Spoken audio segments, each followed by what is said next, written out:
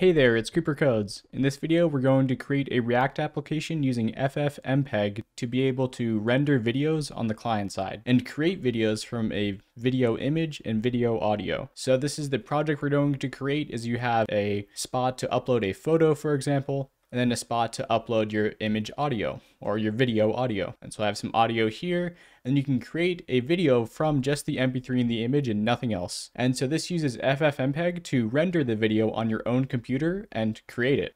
So as you'll see here, I have a basic video with some piano music that plays and it creates an actual video that you're even able to download to your own computer. So this is the basic idea of the project. Let's get started. All right, so let's get into the system we're going to make to create this project. We're going to make a React website that has an upload for an MP3 and an upload for a photo. These two buttons can just be input tags with file upload, and we can handle the actual content of what gets uploaded by using React states. When we press the create video from MP3 and video, this is where the FFmpeg logic comes in. And so we want to use two things. We want to add the MP3 and photo to our FFmpeg file system, and then we want to use FFmpeg commands to create that output video file. Then after we use those commands, we're going to have a created video, and then we're going to want to show the user our completed video, and we can just use a simple video HTML tag for that. All right, let's get into it. We can get started by opening up a blank folder in Visual Studio Code, opening up the terminal, and then as always with your React projects, we're going to do an npx create dash react dash app, and then the name of whatever app you want to call it. I'm just going to call it client for this video. So once that gets finished up, you're going to want to cd into your client. You're going to have your boilerplate React code as you'd expect, but just to make sure you don't have any issues, we can do an npm start to just see that we can run this project on localhost 3000. Your npm start should show something like this. And so let's go into the source slash app.js here. So we can go over to the source folder, then we're going to go over to app.js. As always, I'm going to delete the entire header object because we don't need any of the boilerplate code for this React application. Make sure that your React app actually changed to those new changes. It should be completely white, and that means you're good to go. Okay, so now you can close up that npm start, and we're going to go back to the terminal. What we're going to want to do is npm install at ffmpeg slash ffmpeg. This is going to give us access to all the ffmpeg functions that we need and give us access to all that functionality so we can use actual ffmpeg functions inside of our JavaScript. So we can delete this first logo import because we don't need that anymore. And we're going to add in some imports of our own. The first one is going to be import use state from React. This is going to be super important for when we want to handle uploading the actual files and how to kind of contain files and doing file uploads through React. Use state is super helpful. Then we're also going to import some necessary FFmpeg functionality so we can actually use FFmpeg within React. So it's going to be create FFmpeg and make sure your capitalizations like this, by the way, two capital Fs and then you want to make sure it's fetch file is the other one. And then that's going to be from at ffmpeg slash ffmpeg. And uh, if I had a dollar for every single time I said ffmpeg this video, I would be rich. Now that we have the imports out of the way, we can make that basic functionality for uploading files. So I'm just going to make a comment here, upload file functionality. The first thing we're going to want to do is to create a state to hold a file object. So we can say const image file, for example, and when you have a state, it's going to be the actual state itself, and then the function that sets the state, so then it's going to be set image file, and you're going to say equal to use state, and we're going to set it equal to an empty object. We're setting it equal to an empty object initially because when someone uploads a file through an actual input in HTML, it's going to be a file object. So that's why we set our use states to an empty object initially. We can copy this state over and make a sound file and set sound file because uh, sound files work the exact same way. Even though it's a picture versus sound, it still recognizes a file in our JavaScript. All right, so inside of our return statement, we can make that first input button to handle one of those. So we can say input type is equal to file. So this is like file uploads, for example. ID, I'm going to set this one equal to the image and I want the files it's going to accept to be under images. So pretty much all the different types of images you would ex expect to accept. Then on change, I want to do something like handle change image. This allows us to create a function that we're going to make here to change the state of our JavaScript to whatever file that got uploaded. So let's create that handle change image. So we can go up here and create a const handle change image is equal to, we want the event from the button getting clicked, and that's incredibly important because this event is where that uploaded file is going to go. And we're going to say const file is equal to e.target dot files. And so this is can be an array of files but we, all, we only want to accept the first file. We're expecting the user to upload just one thing. And so this actually grabs us the file object itself. And so if i console.log file and then we do npm start here then we inspect element we go to our console we choose a file as you'll see, this is the actual file object I'm talking about. So JavaScript has this object, its type is image slash PNG, its name is socialnetwork.png, and this is the file that FFmpeg actually wants to use. When you use the fetch file from the FFmpeg library, it can take in a couple different things, but one of the things it can take in is an actual file object itself. So if we keep these file objects within a React state, we can use them whenever we need to use these certain files for FFmpeg. And setting the state is super simple. You, guys think this might be complicated, right? But it's super simple. So since we're changing the actual image, we're going to set the image file equal to this file object itself. So initially our state is an empty object, but now we're saying, hey, take that file that's showing up in our files and the person uploaded and then set this image file function to the actual file itself. So now we have access to that file throughout our entire React application, which is super cool. And the great thing about this is nothing else changes when it comes to doing the handle change of the sound file as well. So let's get into that. This isn't great practice, but this also isn't a UI tutorial. I'm just gonna make a little paragraph tag in between these two inputs I'm going to create, just so we have a little bit of space between them. Now we can copy over this input and we're instead of accepting an image, we are going to accept a sound file. And we also want to set that ID to sound in case we ever want to use that. And we're going to instead say handle change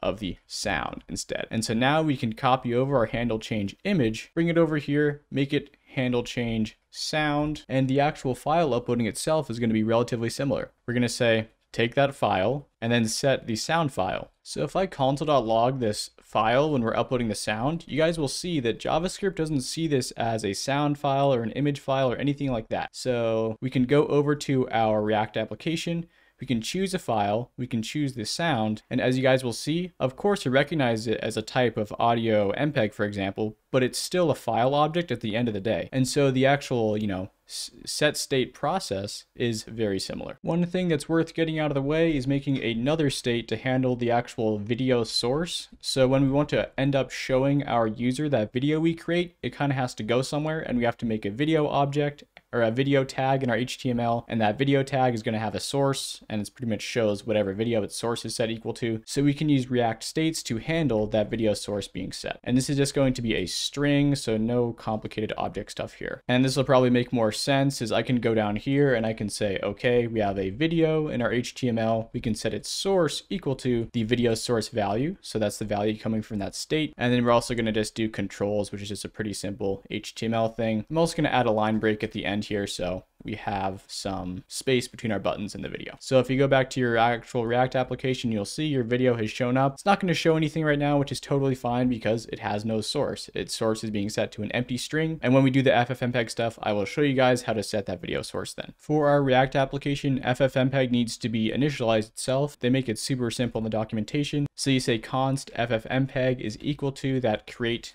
ffmpeg function we have above. It has a couple of optional parameters. One of the ones we can use here is log is equal to true. This means whenever your video is rendering or whenever you have any ffmpeg logic going on, it will show console logs of what's happening. So it'll show like what frames are being rendered, how long the render is going to take, stuff like that. And so this allows us to actually do things like call ffmpeg dot, and as you'll see, we have access to all of the ffmpeg functions. All right, so now we can make a simple button here, and I'm gonna do another paragraph to make some padding. And so we can make a simple button where when we click it, we want to run a create video function, which is going to be the main part of this application. And so we'll just say create a video from the things above. And so now we can actually get into working on that create video FFmpeg stuff. Okay, so now we can get started creating this create video function. So we can say const create video is equal to an asynchronous function. We're doing this because some of the FFmpeg related things are going to use await. So we have to make this function asynchronous,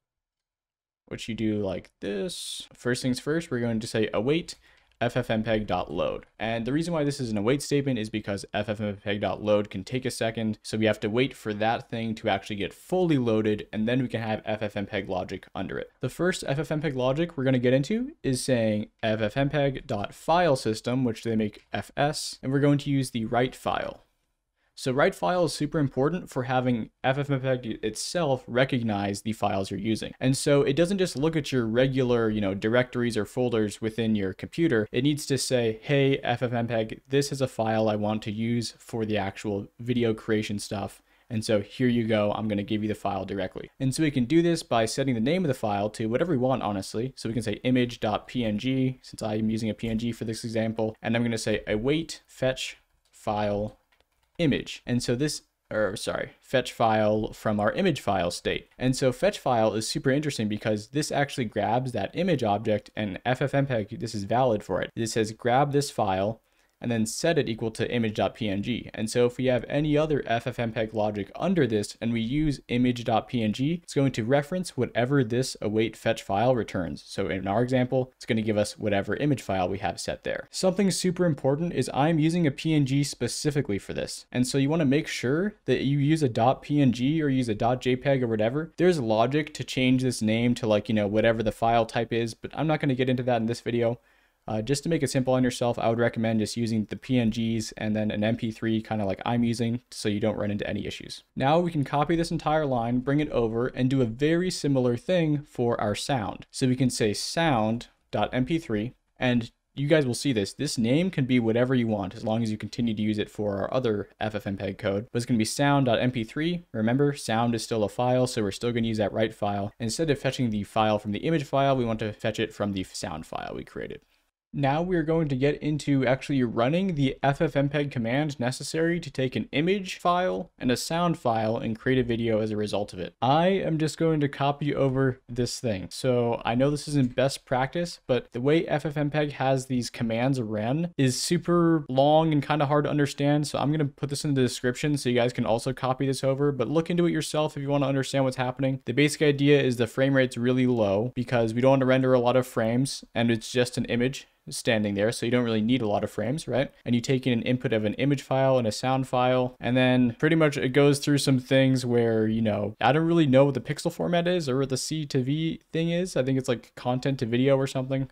Don't quote me on that. And then the T is going to be 10 seconds long. And so as you guys will see, this is always going to be a 10 second long video. If you want to do code that says, oh, my MP3 is two minutes long, I want to make the video two minutes, you have to do some jQuery stuff that I would advise you look into. And I might even make another video on that because it's not as easy as it seems, unfortunately. There is no like react.get video length thing, so it kind of sucks. An important thing here is we scale the video to 1920 by 1080p. And then the most important thing is we output this entire video of all these different commands, we output it as test.mp4. And that's what we really care about, is at the end of the day, in our FFmpeg file system, we now have a test.mp4 we can reference. And so since we know test.mp4 exists, it makes it super simple for us. So we can get the data out of that by saying const data is equal to ffmpeg.filesystem. Now we're going to use the read file instead of the write file. And we're going to say, hey, grab that test.mp4 that we just created. Now this data is our actual video. So that's pretty cool. This is a real video. We can watch it. We can see it and all this stuff. And so the way we can watch it in React is by setting that video source I created above. So the actual source of the video down here is going to be set equal to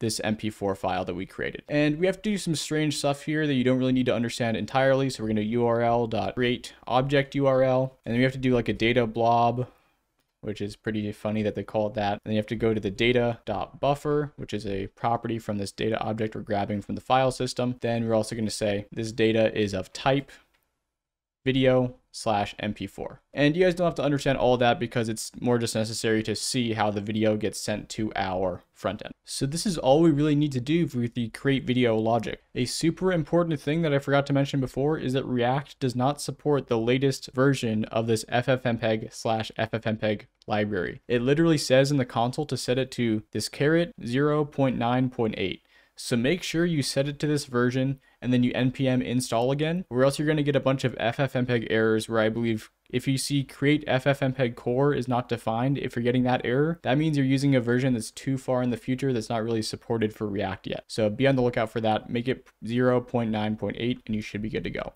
With that said, we now have a fully working application that's actually going to take images, take sounds, and then create a video. So let's go back to our application and see this working. So we can go to our file, upload our PNG file, we can go into here and then upload our test.mp3 and then create a video from the things above. You should see your console going kind of crazy. That's what you expect because we have that log equals true option when we initialize the FFmpeg and you should see the actual video get created and it should play the MP3 and should do all that different type of stuff as you would expect.